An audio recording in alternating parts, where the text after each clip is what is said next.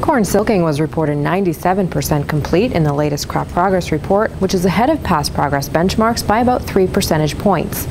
The USDA reported the corn dough stage at 53%, also ahead of both the five-year average and 2015 progress. For the first time this season, the USDA reported progress on corn dented, currently at 9%. This figure is just above 2015 progress at this time, but below the five-year average of 12%. Over half of the corn crop is considered to be in good condition at 54%, while 20% is considered excellent, marginally improved over conditions for the crop last year. The soybean condition is nearly unchanged from the previous week with 21% rated fair, 55% good, and 17% in excellent condition.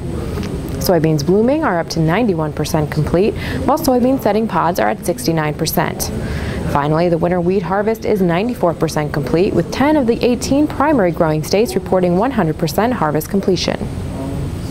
For continued updates on the 2016 growing season, subscribers should click on the news link in COMTELL. In other news, Cargill is once again reducing antibiotic use in its turkey. Here's account manager Megan Mick with the story. Cargill announced it is again reducing antibiotic use in its turkey business, making good on its promise of ongoing reductions in their overall use. On August 1, 2016, the company ended the use of an antibiotic used in both human and animal health care for disease prevention in turkeys harvested for its two largest brands, Honeysuckle White and Shady Brook Farms. At the same time, Cargill is expanding its antibiotic-free turkey products through the creation of its new Honest Turkey product line. These products will be differentiated from conventional turkey offerings because they come from turkeys that are never treated with antibiotics. For more on this and other news from the center of the plate, please visit foodmarket.com. Thanks, Megan. Next up, poultry market reporter Terrence Wells is here with the latest analysis on the turkey market. One component of the market equation which is seen with relative clarity is the relationship whole bird values share with Urner Barry's turkey index. The most significant component of the index is breast meat. When breast meat values and to a lesser degree parts values are low, as they are considered to be right now, the value of the index falls below the existing market value of whole birds.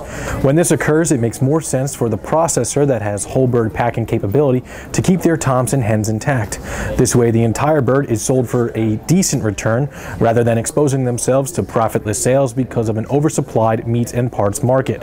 Given the present scenario and considering the production potential we previously discussed, this is just one way market participants are trying to keep in balance and maintain a competitive edge. Thanks, Terrence. That concludes today's show. Thanks for watching and have a great day. Prospector Online is a must have tool designed to help you explore and evaluate new business opportunities in the protein market.